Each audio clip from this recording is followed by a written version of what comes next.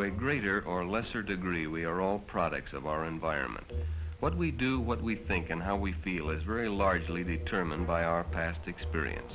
Robert, John, Paul, and Bill are no different than the rest. We all need social approval, recognition, and we fight against rejection. In every waking hour of our lives, we are faced with decisions. The moment of decision is the span taken while we are making up our mind. During that period, we weigh the factors involved. Sometimes it takes only a second, sometimes hours, days, or even weeks. But that decision is always our own, and if it is an important one, it may affect our whole future, even our life. For Robert, John, Paul, and Bill, the moment of decision is not far off. Temptation is waiting in the form of a sleek bronze convertible. It's already caught your attention, hasn't it, boys? The desire to be mobile, to move swiftly is part of being young. Speed is a dimension best understood by youth. Up to now, the desire is only a projection of your imagination. But in a moment, Paul will notice something that will change all that. Now the opportunity is there. All you have to do is climb in and drive off. Now you're each faced with a decision, one that could change your life. Each of you, because of your background, will bring a predisposition that will color your decision. You know what you are contemplating is against the law. It's not a childish prank or a misdemeanor, it's a felony. Grand theft auto. So this is a gamble, a big gamble, the biggest you may ever make. For each of you, the decision will be colored by many things. For John, it will be his need for recognition. You'll assume the role of leader, won't you, John? You continually force yourself to compete, to win. These are good qualities when channeled correctly, but what you are now considering is far from a worthwhile project. But your need for recognition may overweigh your common sense as it has in the past. You aren't able to find the recognition you think you deserve at home. Your parents are always saying, Why, you can't do that, John, you're too young. Or what a stupid thing to say. You'll know better when you grow up. But as you grew up, the vicious child-parent cycle began. Neither you nor your parents were probably aware when it began. But remember the time when you were picked up for curfew and your father was hauled into court? Was he sore? You really didn't think it was your fault. At least you didn't do it deliberately. But that didn't make any difference to your father. You got recognition all right. Maybe not the kind you thought you deserved, but it was recognition. And you found that by getting into trouble, you were a factor to be considered. And consciously or subconsciously, you got into more and more trouble. Then you found that by taking chances, you got the approval of your group. The bigger the chance, the more approval. You became the leader, and the group looked up to you because you had heart, as they called it.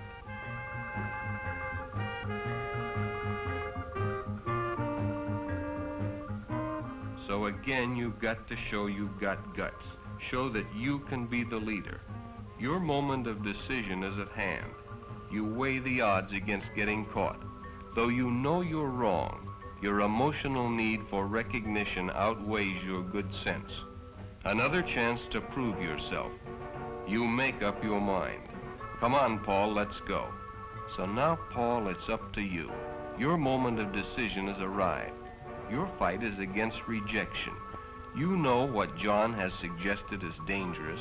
The chances of being caught are great. Your folks would be furious if they knew you were even contemplating such an action. But after all, you don't care. They don't love you anyway. Or at least that's what you think. They're always on your back about something. They don't like the way you keep your room. Your hair is too long. No son of mine is going to live like some beatnik. You've heard it a million times.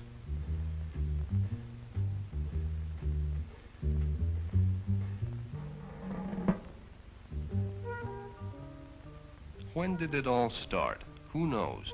Maybe it was when Jerry was a baby and you tried to help. You didn't know that in the few minutes it took to go to the store to get some aeroplane cement, a baby could almost strangle himself in his own bedclothes. Well, he didn't die, so what was all the fuss about? Your mother frantic, your father yelling? You didn't stop to think your parents had been scared half to death. You were angry. You wanted to strike back. It all seemed so unfair. And as time went on, you got back at them by being bad. You're rejected at home, or so you think. Well, you won't be rejected by your group. not at any price. You make your decision. Now, Bill, it's up to you. You're not unlike the others. You need social approval, recognition, and you'll fight against rejection. But you also know the gamble you're about to take. You ask the question, am I willing to pay the price if I get caught? That's a tough one, isn't it? Like all the others, your decision will be colored by the past. Growing up is never easy. Both your parents have worked as long as you can remember. Even so, there never seemed to be enough money for the things you wanted. You always spent too much time alone. And then last summer you had a chance to go on a fishing trip with the gang. But you didn't have a rod and reel. And when you asked your dad, he said, Well, I'm sorry, son, I, I just don't have the cash. Why don't you go get a job after school? But there wasn't time, and you stole a rod and reel. Your father found out and raised Cain. But he also talked with you and showed you where you were wrong. Then he took you back to the sporting goods store where you had stolen the equipment. The manager listened, and he and your dad worked it out. The rod and reel were put aside, and you were to get a part-time job. You didn't go fishing that weekend, but not long after, when the rod and reel were paid for, you did go. You and your father went together, and you gained respect for your father and yourself. He helped you with that decision. Now this one is on you. But you're better equipped than you were to weigh the odds, and when you ask yourself the question, am I willing to pay the price if I lose, you know you're not. You see the hostility begin. Okay, chicken.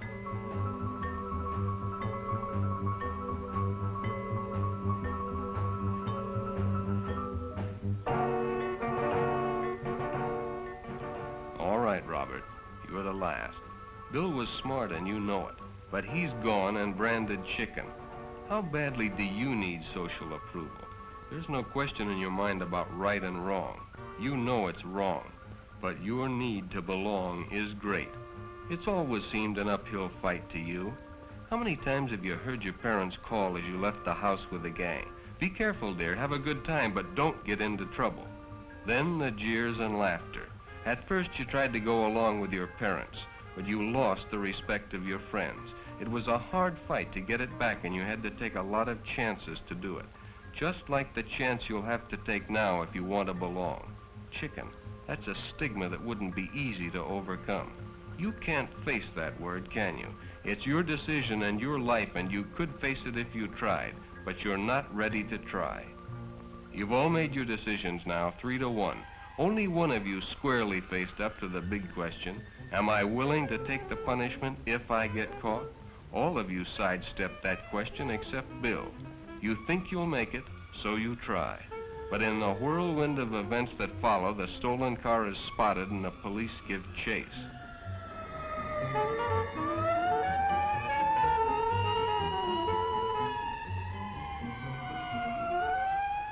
You want to stop and tell them it was only a prank, that you knew better. But even now, you're not willing to face up to reality, and you try your next big gamble. You try to outrun them.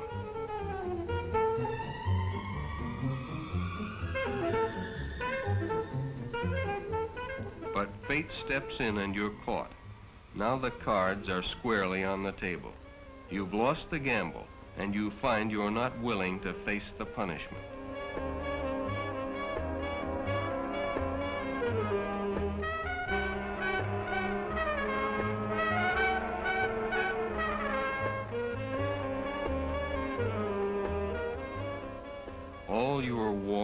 Emotional needs seem small against the possibility of going to prison.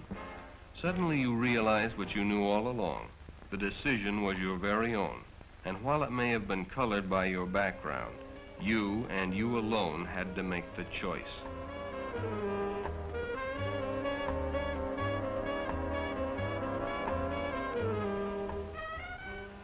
There will be other decisions in the future, and though you handle this one badly, if you make an effort to understand the reason for making it the way you did, you may yet learn to make wise decisions before it's too late.